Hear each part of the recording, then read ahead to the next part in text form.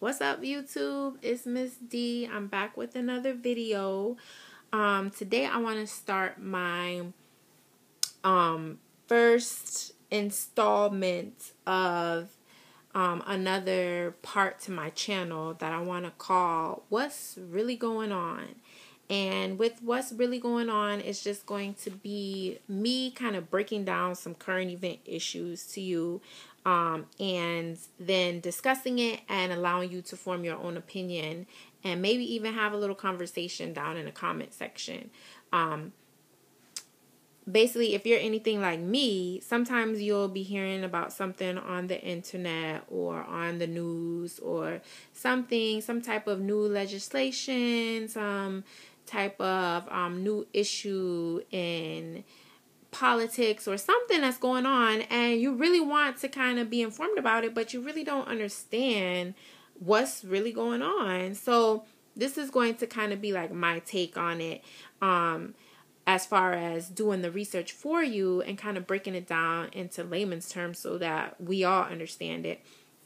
Um and then we can all kind of stay informed so, what I want to talk about today is, of course, what's going on in the news with the anti piracy laws that are happening.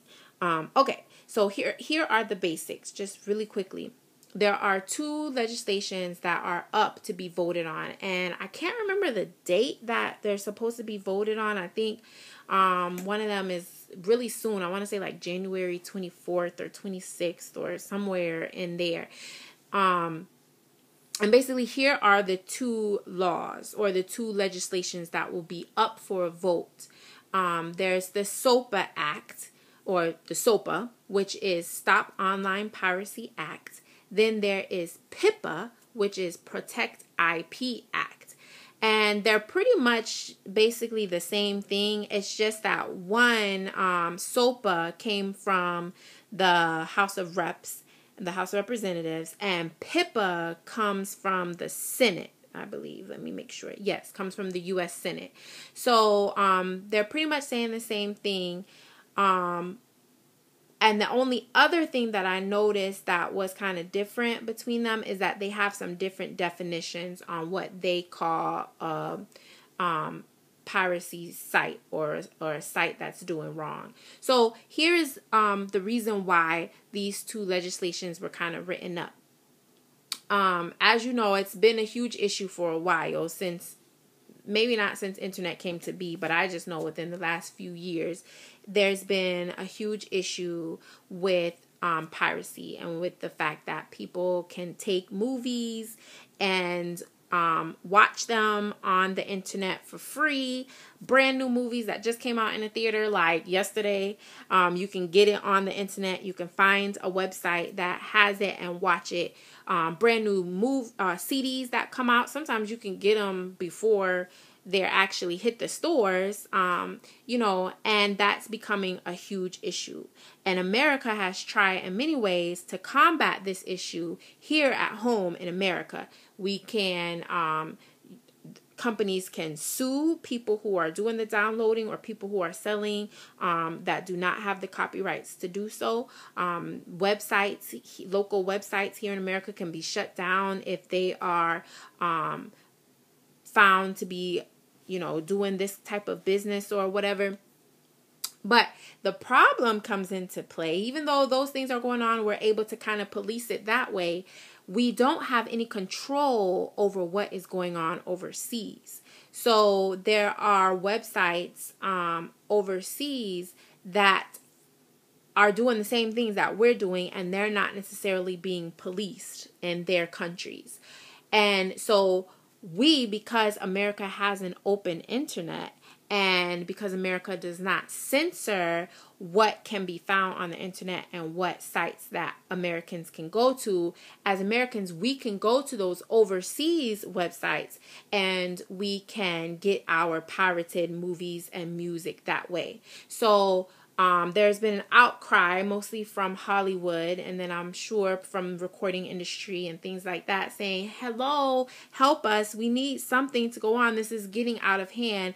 Our hard-earned um, work is being taken from us, stolen, and being sold to profit other people that's not us. And it's not fair. So we need you to do something.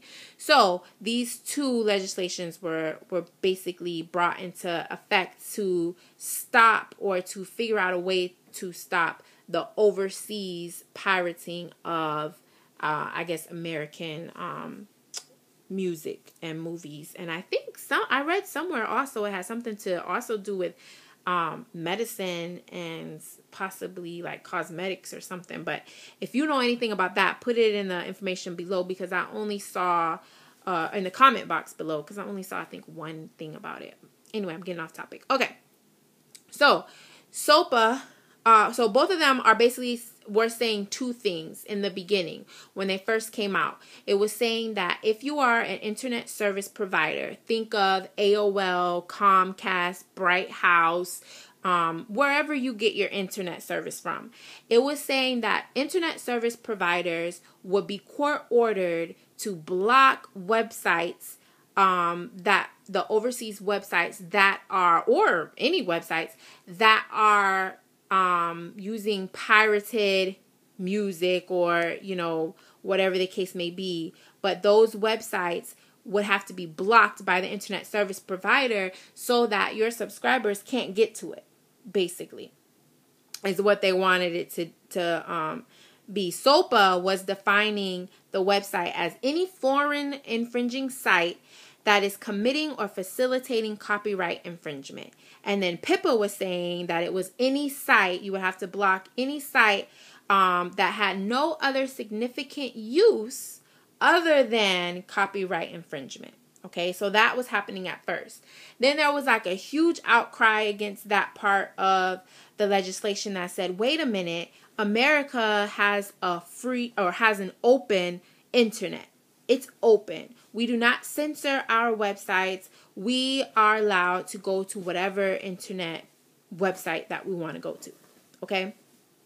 So, um, the writers of the legislation took that portion out and they then changed it and said, okay, you don't you don't have to block the website, but you have to remove any links that you have anywhere in any search engine to that website.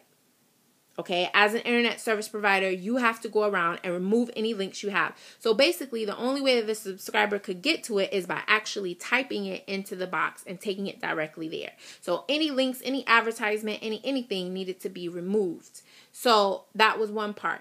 Then they also said that any advertiser um, or um, any advertiser or any search engine, think of Google, think of Yahoo, um, Bing, any of those search engines would have to stop doing businesses with any of those sites that are being accused of doing the infringement. So any ads, any money that was going to that site for for anything would have to be you would have to stop doing business stop doing business with the site and basically try to remove all funding from the site so that the site would eventually shut itself down or be shut down. Um, and also that those sites could hold um, repercussions and have consequences for um, basically, you know, uh, for inf- for having something to do with those infringing sites. So basically, those were the two parts of the legislation. You have, like I said, the people for it that were saying that this is what we need because the internet is just getting way too out of hand. Then you have the people against it, against it, like those search engines, like those advertising companies, saying, "Whoa, wait a minute." That's not fair. It's, it's not fair for you to police me, um, basically to try to get to the criminal because basically that's what's happening. You're punishing me because of what the criminal is doing. Okay? So, um, that's kind of, you know, really quick layman's terms about what's going on with those two um, legislations and why it's such a big deal right now and that you have those people for and against. Um, also, while I was reading the different articles, which I will, like I said, put links in the bottom so that you can go in and read those articles too. The ones that I read and um, were really um, easy to understand and they were um, well written. So I would definitely advise you to go read them and I'll put them down there. But there was one article, I think it was the PC World article, where there were people who had read the article that were commenting on the bottom. And one guy said something that really made sense to me. He said, um, it's like using the analogy that if I'm a newspaper and I have a classified ad in my newspaper that um, a copyright owner sees and didn't give permission for that ad can go to court and basically shut that newspaper down, the newspaper itself down, and not only do that, but also make the people who are were purchasing the newspaper and were buying the newspaper and probably didn't even see the classified ad would now no longer be able to um, purchase that newspaper until the infringement was removed from it. Okay? Like that's huge. That that's really big and to me, just my personal opinion on the matter is that, you know, that's not right. Like we can't punish um internet sites, websites and things. We can't we can't punish them for having or giving access to the internet, no matter what it is. Like we know that piracy is wrong. We know that there needs to be some kind of laws created, but I don't feel like this, in my opinion, is that this is just not the way to go. It just isn't because you're moving towards censorship. Because if with this, it's going to be something else and something else. And next thing you know, we're only going to be allowed to go to the library website on our internet. That's it. And we're only going to be allowed to look at the family um, the family genre and poems. And I, I really feel like that's the direction which we're going is that we're going to be moving into censorship. And, you know, this is America and our internet is supposed to be open. So um, I thought that that was really bad. And it's just, the more you think about it and you think about ways that this could affect you, someone who may not be watching pirated movies or listening to pirated music, but you use these websites that will eventually be shut down. And how would that affect you or that could be shut down? And how would that affect you? Okay? So to me it's a huge issue um, that i think you know you need to pay attention to because it will affect you if these laws are passed um, so just stay informed, make your own decision, but definitely stay informed and know what is going on around you so that you can do what you need to do to um, make sure that these things don't happen. If you go on to Google's website tonight, today is uh, what is it, the 18th, I think? Yeah, January 18th. Um, they actually have a link on there that provides more information about SOPA and PIPA and also um, has a um, petition that you can sign if you feel like this is not the right thing to do. Um, so, thank you so much for watching. Please rate, comment, and subscribe. And remember, please stay informed. Deuces.